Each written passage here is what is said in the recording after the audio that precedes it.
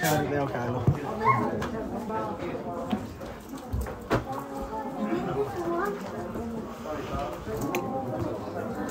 Amen. If you have your Bibles, turn to Genesis 32, verse 22.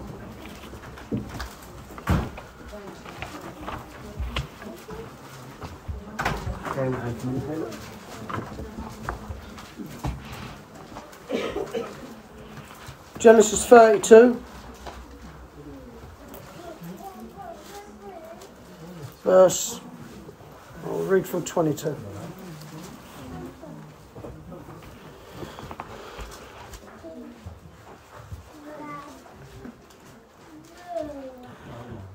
Now he arose that same night and took his two wives and his two maids and his eleven children and crossed the ford of Jabbok.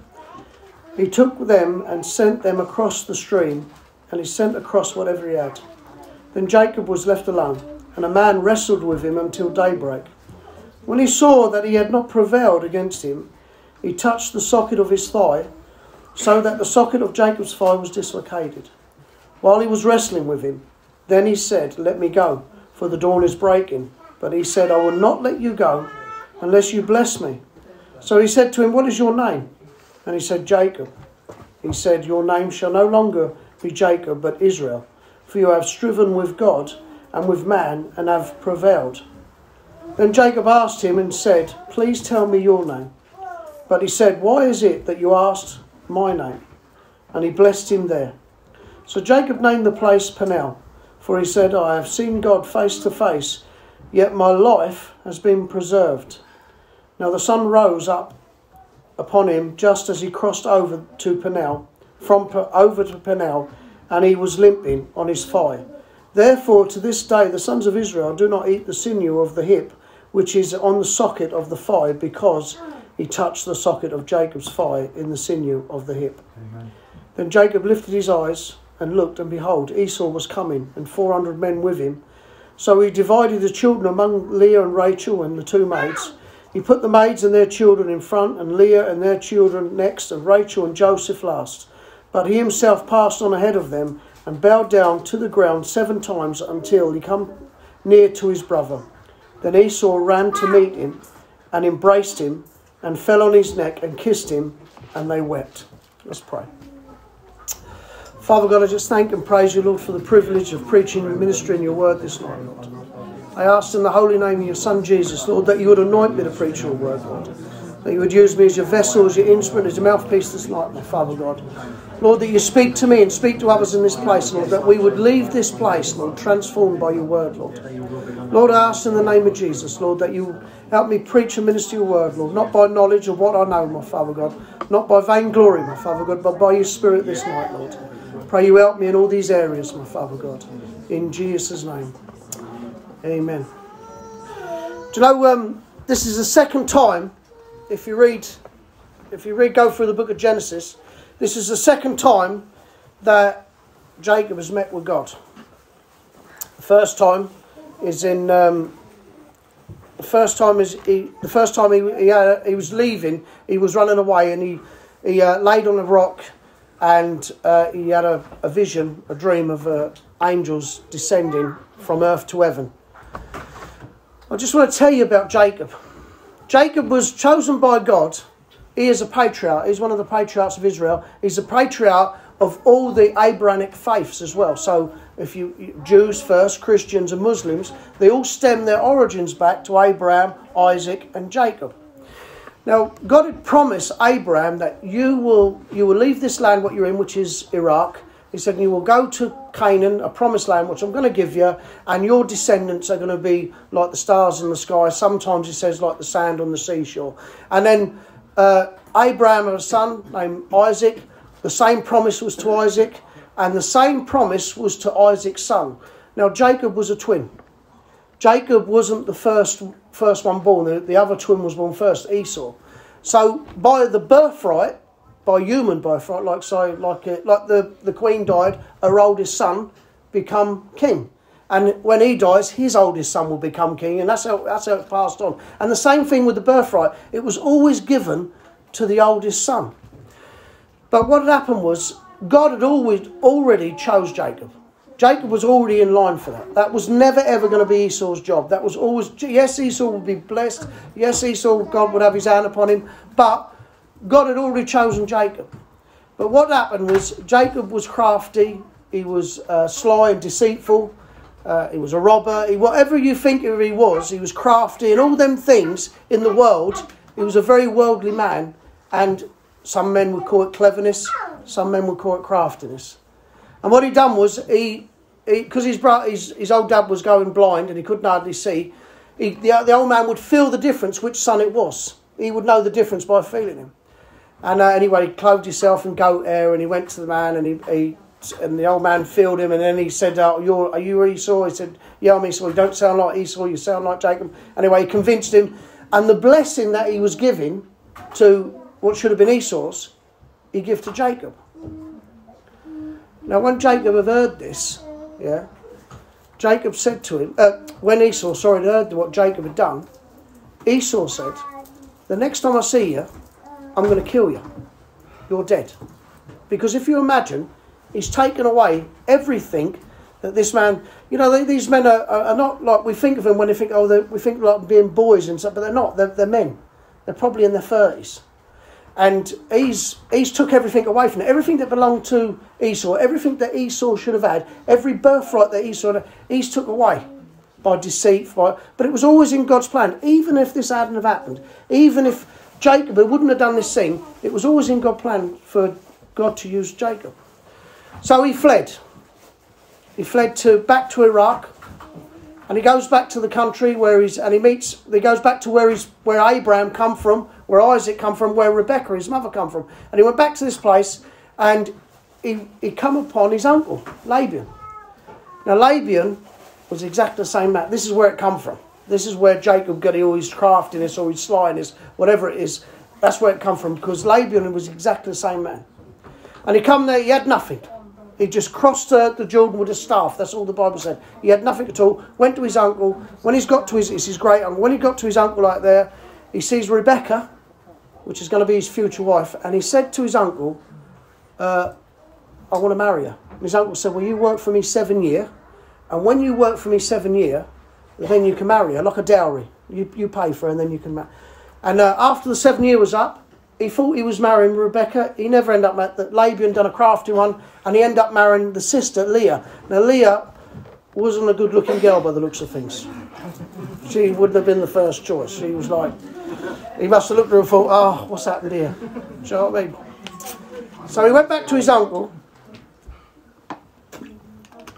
His uncle was father in law now. And he said to him, You've tricked me. I, I thought was, and he said, no, no, no. He said, so it's not, it's not, you know, it's usual for the older sister to go f- to marry first, and not the. I give them all flannel. He said anyway. He worked another seven year for Rebecca, so now he's got two wives.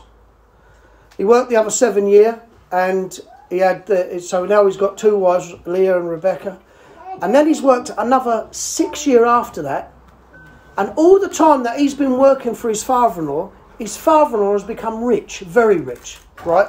Now it's not through again through. It could be through uh, when we read it because he was a bit sly with the when he was at the urge and. But God is blessing Jacob. And let me tell you something, if you're in a place, no matter where you're stopping at, and you're, you're born again and you know the Lord Jesus Christ, your Lord and Saviour, and you've truly met with Him, and you live at that place, let me tell you something, you will bless the people around you. I don't mean financially anything, but you will bless the people around you because eventually they're going to ask questions. Why is that man and woman different? Why do they go to church? Why don't I hear them swear? Well, shouldn't be. Why don't I hear them swearing? Why don't I hear them doing this? And they ask questions, opens up, and next thing you know, they're in church. Whether they accept or not is down to them but they come to church. And because of that, you are a blessing. And this is what happened with Jacob. God is blessing Laban, who didn't deserve it. Laban's a pagan. He don't believe in God. Anyway, after the after the 20, he's been there 20 years now. He's got 11 children. Well, he's got 12 children. Doesn't mention the girl, but he's got 11 children. Uh, he's decided to creep out of a night time. He's not going to, because he knows his father-in-law not going to let him go. And by now, he's got more than his father-in-law. He owns more in, in money and whatever you want to get in goods than his father-in-law. So he's left by night. He's three days journeying. His father-in-law said, said he's gone. He's he's followed him. When he's gone to him, he's going to kill him. God has told Laban in a dream, when you see him, I don't you do any, I don't you say anything wrong to him. I don't you do anything bad to him. I just want you to leave him, let him go. And uh, but Rebecca chored an household god like a little statue, like a little uh, a little statue. She chored it and took it with her. You know, uh, another point that I see with that as well is that if you have got a god that somebody can come into your trailer or your house or your chalet or whatever, and they can pick it up and take it, then that's not a very good god to have. If somebody can come to you and they can threaten you, or they can uh, start say things, or they can make you doubt. You know, they come say, "Oh, is God real? God's not. Look where God's done this and that and the other," and they can take that away from you. Then the God you serve isn't real. It's not a very good God because the God we serve, the God we praise and worship in this church, fills the whole earth. He's everywhere, all at once. He's too big to be put into a statue. He's, he's everywhere all at once. You can't limit him down to a little thing that you can pick up and put it in your pocket. Anyway, Laban catches up and goes to him and uh, makes a covenant with him. I'll read the covenant what he said. He sets up a pile of stones between the between the two between sets up a pile of stones him and Jacob do. And this is what and I've seen people have this on wedding rings, by the way, and it shouldn't be on a wedding ring. It says this: May the Lord watch between you and me when we are absent from one another. It sounds good, doesn't it? That sounds good. It sounds like it sounds like something you should put on a wedding ring, it? But if you read before that, he was saying this: If you cross these powerful stones, I'm going to kill you. If you come this way, these these stones that I've set up, if you come this way, and you cross them, I'm going to kill you. And if I come to the other side and come towards you, I'm going to do harm to you. And if you don't look after me girls and my grandchildren, like I say, that's when that comes in. The Lord's going to watch between us. So it was a covenant. It wasn't like a, oh, this is all happy and lovely. It was like, if you cross this road, if you cross this, this pile of stones, we're going to have war.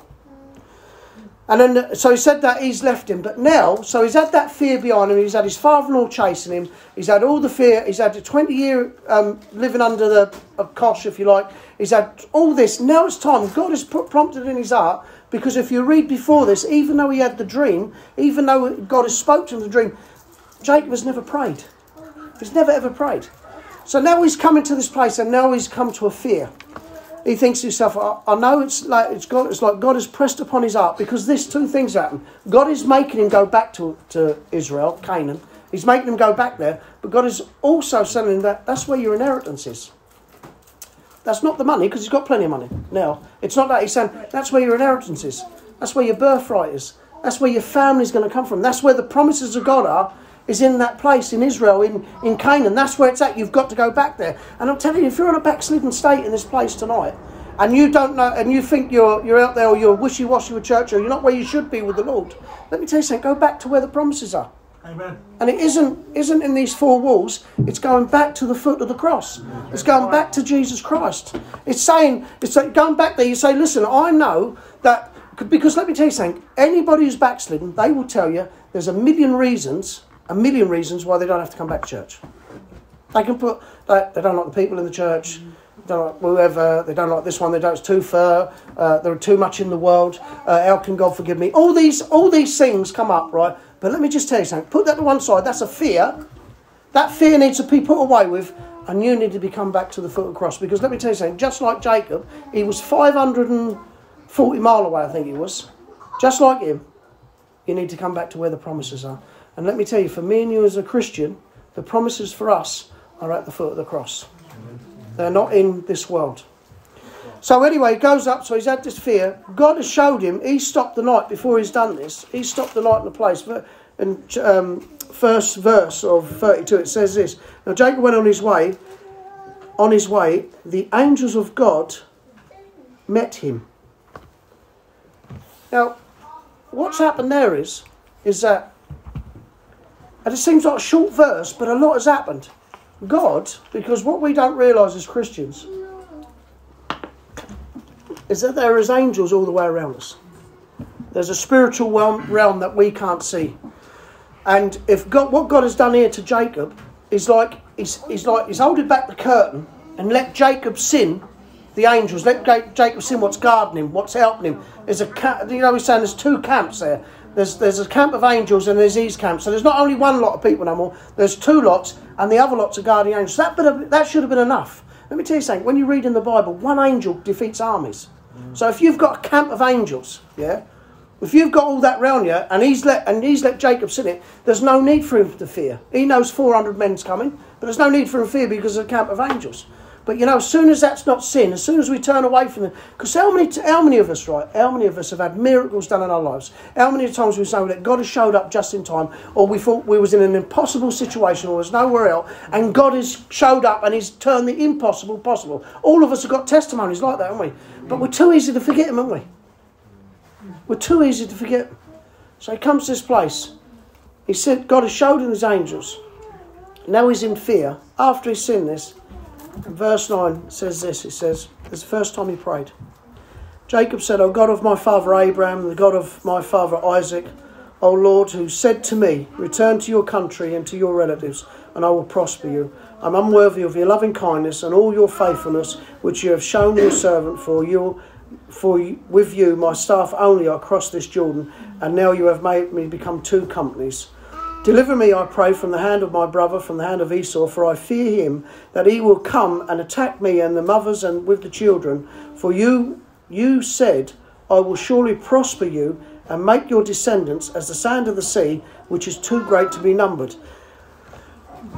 It's not like God is, you know, when he's prayed that prayer, he said, You said, you said to God. It's not like he's reminding God because God has forgot. God already knows. But sometimes we need to pray that ourselves. We need to be reminded what God has given us what God is doing for us, what the promises that God has had. Never will I leave, leave you, never will I forsake you.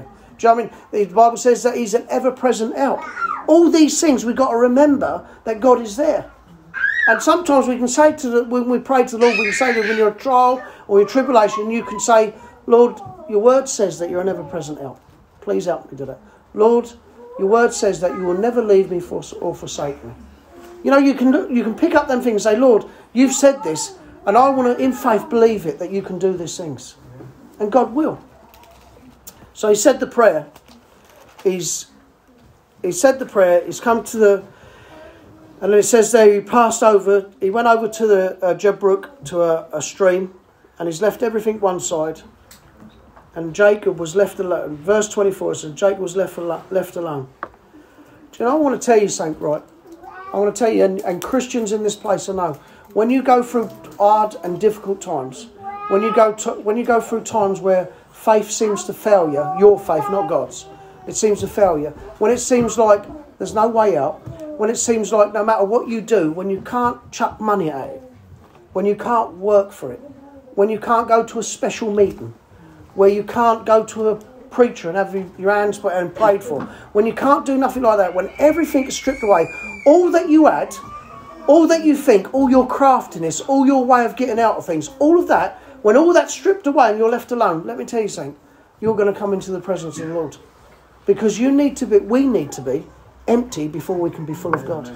Because if you're filling yourself up with, Lord, help me out this situation, ah, but if I do this and I do that, I'll get out of it. Or, Lord, help me, do I go to this place? And you, you just keep thinking yourself, yeah, I've prayed the prayer, but now I'm going to do my bit. Let me tell you something, you're not waiting on the Lord. You'll just think, you, all you're doing is you think yourself, oh, that's an insurance policy. What I'll do is I'll do what I want, and then I'll pray. So if I get it wrong, God will show up. But let me tell you something, that's not how God is. God wants you and me to rely on Him for everything. For everything in our big or small, He wants us to rely on Him. They have that relationship with Him. You know, like the ones that have got young children, who've got babies here, right? Your children rely on you. Yes, they play up. Yes, they chuck the, the dummies out the prams. They do all that, but they rely on you to feed them, to clothe them, to make sure everything's all right when they're ill and sick. That you take them to your, all this goes on right. You that your children, your babies rely on you, and that's how God wants us to be. He wants us to fully rely on Him. So whatever whatever mistake, whatever situation, whatever circumstance you're in, no matter what it is, God wants you to rely on Him. And it's very easy for me to say that. It's very easy for me to say that to you, but it's very hard sometimes for me to do that. It's very hard to me sometimes to think that, um, you know, uh, you like, like, you know, when somebody's having, like my little, my little grandgirls have an operation, and we've been praying for a long, long time, yeah. And what you, you're praying for a long time, but at the same time, I know that God has got his hand upon her for how things are happening, but at the same time, I'm thinking to myself, is there any other way we can do this? Is there some other. Do you know what I mean? It's not fully relying on God, and we've got to get over that barrier. We've got to say, Lord, listen, there's camps of angels around us. God has kept me this far. God has took me out of a place where I didn't belong. God has took me out of the clutches of a man that just wanted to rob me blind. God has took me from a place that is, is, is barren and there's nothing there and the promises of God isn't there. He's took me from there and he's taken me back. And now I've got this other problem, which Christians do have. We have problems all the time. There's no such thing as an easy ride being a Christian. That's right. There's no such thing. So we've had all these problems and now he's come to this and he's thinking to himself, the last time I met him, the last time I see him, he said, The next time I see you, I'm going to kill you. And you can imagine how, how stressed he is, how worried he is. He's not only thinking for himself now, he's thinking, because he just prayed it, if they kill me, they're going to kill all my descendants, which means his 11 sons and his one and his and his wives. He's going to everything, everything that's there, everything that's built up, everything that he loves. He thinks that Esau is going to take away. But he prayed and he asked the Lord, and then he was left alone. And it says there, verse 24, it says, And a man wrestled with him until daybreak. You know, that's called a Christophany. That's Jesus in the Old Testament. That's Jesus showing up in the Old Testament. Um, it doesn't say it there. Jacob said it. I've wrestled with God, God at the end of it. If you, I think the book of Amos says it as well that Jacob wrestled with God all night. Let me tell you about wrestling with the Lord. You might be in this place and you might be wrestling with God with a sin in your life. It might be an habit that you have. It might be that you're struggling with, you're still going to the pub and still drinking. It might be something like you, whatever it is that you're stopping you from having a good relationship with the Lord. What's happening is that thing is coming between you and God. And what it is, you, you think you can't get rid of it because you need it. Yeah, but God's saying, I want it gone because you can't have a good walk with me. You can't have the full promises me. You can't have the full protection what I can give you.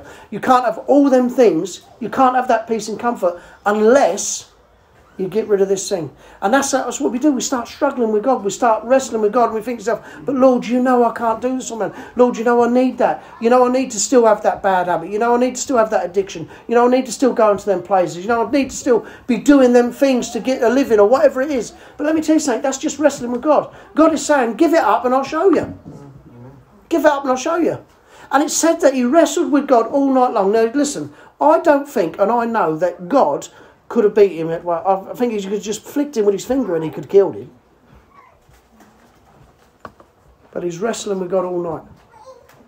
And uh, you know what? I've read this many, many times before. And it says it wrestled with him, and God, and the man, God, dislocated his hip. And I thought that was it. That was the end of it. But if you read carefully, it says that he's still, he's still wrestling. He won't let him go. He won't let this go. Jacob is not, he's licking his hurting, his, his hips, but he's not letting go. And that's how we've got to be. We might be hurting, things might be broken in our lives, things might be going, but we've got to hold on. We've got to cling to, and we've got to say to the Lord, I'm not letting you go until you sort this out. I'm not letting you go until you show up and you just get rid of the problem, or you help me with this problem, or you help me go through it, or you ease me, or you give me a peace about it. I'm not going to do it, but I need to cling on to you. And he's still done that while he was wrestling.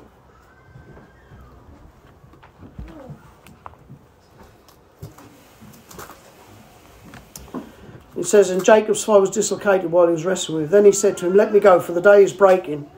But he said, I will not let you go unless you bless me. Verse 27. So he said to him, What is your name? And he said, Jacob. He says, What you. Verse 28, he said, Your name shall no longer be Jacob, but Israel. For you are striven with God and with man and have prevailed it seems like here that the God, first of all, it seems like when we read this that God can't beat Jacob in a wrestling match. Right? Then it seems like God is not an all knowing God because he don't know Jacob's name. But let me tell you something when he said to Jacob, when he said to him, What is your name? When Jacob said, My name is Jacob, he wasn't just saying, My name is Jacob, he was saying, My name is swindler. My name is deceiver. My name is supplanter. My name is, uh, you know, a, my name is a, a robber. My name is a liar. He's saying all them things. He's admitting to God, that's who I am, God. I'm all them things. I'm not the, I'm not, I'm laid open, I'm laid bare to you. All them things, all them sins that separate me from having a good walk from you, to separate the promises that you have for me. All them things, That's what I am, Lord. That's what I am. That's what we need to do sometimes when we come to the Lord. We need to come to Him in prayer and we need to say, Lord, that's what I am. You know where I am. Because sometimes what we do is we're, we're so good, we're, we're 99% Christians. We're so good in all them areas, all them good areas, and there's one thing there's one thing that we're holding on to, one thing that has our old in our life, one thing that's holding us, anchoring us to this world. There's one thing that's keeping us where we, instead of going on in the Lord and having more and more of what God wants, it's holding us. Well, let me tell you something. The minute you start admitting that to Lord, and it's not just a one time event. It's not just saying, Lord, uh, help me with, I'm, I'm going to use drinking, help me with drinking, help me to stop drinking. It's not that the Lord's going to come in, get rid of drink, and that's going to be it. Sometimes we have to work with that. Sometimes we have to ask the Lord, strengthen me, help me not go to pub, help me not have cans of lager, help me not to do them things. We have to ask the Lord to strengthen them. When that's over with, when that's over with, something else will come along and we'll have to come before the Lord and say, Lord, I'm doing this. I'm doing that. Because you know when the, the, the people, when they come out of Egypt and they went into Israel, which was a long time after this, went into God said this to him. He said, I'm going to give you this land little by little, lest it overcome you. And let me tell you something. We listen. I know people can be transformed in an instant. I know God can come into their lives and transform them from one day we're facing one way and going the other way. But for some of us, like me, sometimes God is doing it little by little. He's cleaning up our lives little by little. Does it mean we're lesser Christians? No, it means that we're facing the same way, going the same forward. We're walking with the Lord. And as we're walking towards Him, as yes, we'll never be perfect until we leave this life. But as we're, as we're walking towards Him, the things are dropping off and we're getting rid of the things and we're saying lord i don't want these no more all these things that i'm doing the swindler the the you know the supplanter all them things there what jacob was admitting what he was lord i'm getting rid of them help me to get rid of them give me the strength to do them but the thing is is we've got to cling on to, onto and hold onto because you will never ever grow in the lord listen you might think to yourself yeah but you know what i only do this but so and so does that and they're still going on Lord. The difference might be, listen, I'll put it for instance, right? Let's let's do drinking again. Let's say I drink and Jesse drinks. We both go to the pub. We both come to Christians. We're both trying our hardest, right? To I, I want I want the drink gone. I want the drink. Oh, he wants the drink gone. But my motive is I want the drink gone because I want all you to think I'm a better Christian. But at the same time, I'm thinking to myself, Joe, I love drink. I like going to the pub. And I keep looking at Jesse and thinking, well, Jesse drinks. It must be all right. Jesse drinks. But Jesse could be thinking to himself, Lord, I want it gone. It's a it's an addiction that I have, and I want it. I'm struggling with it. I'm going. Let me tell you something. He's in a better place than me because he's saying, Lord, this is me. This is how I am. I want it gone. I want it got rid of. I want to have a better walk with you. But if I'm making up excuses because Jesse ain't giving up, then you've got a relationship with the church. You've got a relationship with the people around you. You need a relationship with the Lord. Amen. You need to say to yourself, I need, I need to put my eyes on you. It's not how good I look to Jesse. I'm not Jesse's not my plumb line. God is. Jesus Christ is. That's the plumb line. That's where I've got to be level to. Not people in the church. Because if you're level with people in the church, let me tell you something. If we start, if you look, if you, if there's somebody in this church, you think to yourself, there's a, well, there's a, there's a young fella in the church back in um, Ivor. He's our gauge. If if he's gone, for more than a month, the rapture's happened, we've been left because he's that good of a Christian. So if you've got somebody like that in your church and you think yourself, that's what I want to be like, I want to be like that man or that woman, I want to be like them, I want to see how they've served the Lord, then you've put your eyes on the wrong thing because he will let you down, she will let you down, they will fall. Only God is there always. Keep your eyes fixed on the Lord. Keep your eyes firmly fixed on Him. Don't think to yourself, Joe, I can do this on my own, or they won't know. God knows. God always knows. And it's in that quiet times. If you're not in that quiet time when you when you've done something that's affected you between you and God, and you sit there, or you're praying, and it's and you're not feeling not not guilty because guilty will push you away from Lord, but you're not feeling convicted of it. You're thinking yourself, Lord, I've done wrong. Nobody knows about it but you, Lord, and I've done wrong, and I want to put myself right. Or if you're like if you're the other hand, you think yourself, nobody knows, I've got away with it, then you need to come back to the foot of the cross because I don't believe you've ever met with the Lord Jesus Christ. Because once you meet with God, it doesn't matter how far you go or how long you've been, once you've met with Him, you, the experience that you've had with Him, nothing compares with that. Nothing at all. Nothing compares with Jesus Christ. You'll always, you know, when that conviction comes, you'll always want to come back to Him. You'll always think you're, even if you're in the world and you're backsliding and you're doing whatever it is, you, there's a, every person I know that's been backsliding and come back, all they said was, I've done everything I could to drown out God. Everything I could.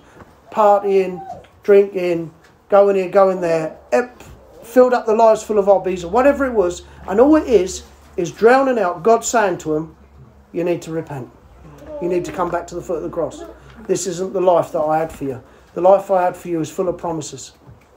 But sometimes we've got to listen to that voice. Amen. If your heart is that you really want to go on with the Lord and you really want to be a different Christian, doesn't matter how long you've been saved, and you want to be a different Christian this time next year, this time next week, then you're going to have to say, between you and God, you're going to say, Lord, I'm Caleb, and this is what's wrong with me. I need you to help me. I need you to help me get rid of this. I need this gone in my life. I need you to help me walk on this walk with you daily, Lord, and to trust in you. So he's got the fear. He's got this fear of Esau. He thinks Esau's going to kill him. He's got the fear of going back, but he knows he has to go back, and that's how God is. God will always put a call upon your life. He'll always say to you, no matter how far you've gone back into the world, no matter how deaf you are to the things of God, He will always give you chances to bring you back. He'll always bring you, try and draw you back. He'll always give you that chance. He'll always put somebody in your way to just say to you, you need to get back to the Lord. He'll always give that, that, that thing just to, this is what he knows. He says, I'm going back there because the Lord has told him he needs to go back there. In his mind, he's convinced he's going to be killed. It says he, he was wrestling with him. His fire's out of socket. He's changed his name to Israel, which means uh, it means wrestling with God and also means to be governed by God. And uh, it says that he left there, crossed over to the river, limping on his thigh. So let me tell you something. Right, he is left. First of all, his brother's going to kill him. So, best case scenario in his mind, he's going to have a fight with his brother. He's wrestled with God all night. He's ended up being a cripple. Now he's got to meet his brother. So it seems like God has hindered him, not helped him. Then it seems like, hold on, I've got this man wants to kill me. Instead of you helping me, instead of you, you've hindered me with this limp. I believe he had this limp, and he had this limp for the rest of his life, Jacob did. He had this limp, limp that every time he walked, he knew he had to rely on the Lord. You know, if he had to walk a distance, he had to rely on the Lord. When he come up to his brother Esau, he had to rely on the Lord. Every situation, every circumstance that come in his life, the limp would be a constant reminder, the pain would be a constant reminder of you know, I have to rely on the Lord. And let me tell you something anybody who's been backslidden and they've gone in the world and their, their life's gone upside down, when they come back, yes, thank the Lord they're in church. Yes, thank the Lord God has restored them. Yes, thank the Lord they wish that they should be. And listen, they're going to praise the Lord and they're, they're where they should be and everything's good. But it always leaves them with a limp. It always leaves them with something. It always like they're not quite what they should be. They're not quite where they should have been. You know, that's a constant reminder that don't lean on your own understanding, the Bible says, but lean on His. So he goes to his brother. He's with this limp. 400 men is coming. And he's, he's walking out in faith now. And he said this. Then Esau ran to meet his, his, him and embraced him, fell on his neck and kissed him, and they wept. Let me tell you something no matter what circumstance you're in, no matter how bad you think, you know, like if there's rows and arguments and you think, uh, I'm not going to get out as a Christian, the only way of getting out of this is if I rail and argue back. If I rail and fight back, I'll do this. Let me tell you something. If you put your tra- trust and faith in the Lord Jesus Christ, He will show up and that your enemies will become just like this. Just like this. His enemy, who wanted to kill him the last time, the next time you see him, all he wants to do is embrace him and kiss him. That's all he wants to do. God, the God that we serve, isn't the God up there somewhere in heaven, sitting on a cloud with a, an, an, old man grey with a beard that wants to throw a thunderbolt at you and kill you at anything? You... No, he's not that sort of God. The God we serve is a loving God, and He wants to restore our relationships, and He wants to keep you safe. He wants to, but you have to rely on Him. You have to put your faith and trust in Him. You have to realise, you know what? No matter what I'm going through, no matter what happens, no matter what life throws me, no matter how I feel, because if you go on feelings, they will let you down guaranteed. Because how many people didn't feel like coming to church tonight? We're here, thank the Lord. Do you know what I mean? How many people didn't feel like going here or going there? But we're here. Don't go on feelings. Go on the fact that God loves you. He saved you. He set you free from sin. And He wants you to move on in Him. And He wants to give you, the Bible says that He wants to give you life and give you life abundantly. But it's up to you. You have to come to that point where you're wrestling with God and you have to say what you are and God will, God will honour that. You know, when we, when we um, come to repentance and we confess our sins, all that is is saying the same as what God knows. That's all. We're, only agreeing with what God says. You know, you're a dirty, rotten, filthy sinner. And all we say, Lord, I'm a dirty, rotten, filthy sinner. You're confessing to God exactly what He knows. You know, if you're in this place and your heart's been, especially like I know one of the brothers prayed about um, Christmas time coming up. Well, you need to use your you need to use your prayer life like a bank account. If that's your weakness, Christmas, then that's what you need to be doing. You need to be if you're praying for ten minutes a day, you need to be praying twenty minutes a day. You need to be a constant putting in prayer. Lord, give me the strength to get over this season. Give me the strength that when I get to January, I followed you, put you first. If you're cold in the heart, you know, when you, you feel like you're distant from the Lord, then tonight you can put that right. Tonight you can say, Lord, you know where I am? You need to, and the Lord will come in and He will bless you and He will touch your life again. But you know, it's up to us, to whether we want it or not. We have to seek His face. We have to not think that, because the, the problem is with most of the Christians now, they think that coming to church, that's it. Coming to church, isn't it? Come to church, I come to church, we come to church because we need to get charged up. We don't, that's not a favour to God, that's for us. What we need to have is that personal relationship with Him. It starts in the morning, reading your word, praying, going to church, fellowship with one another, keeping out of the places where you're weak. You know, where you stand at with God tonight. You know, if you're standing in fear, or if you're standing in, you don't know what direction to go in, or you're standing, it could be a sickness or an illness. And I would say tonight, stop wrestling with the Lord. Let Him take full control and give it to Him. Because otherwise, you're not going to go on in the Lord all the time. You're holding back and you've got an anchor in this world. Let's pray. Father God, I just want to thank and praise you this night, my Father God. Thank and praise you for your precious word, Lord. I thank you for men like Jacob, my Father God, that learns the truth of you.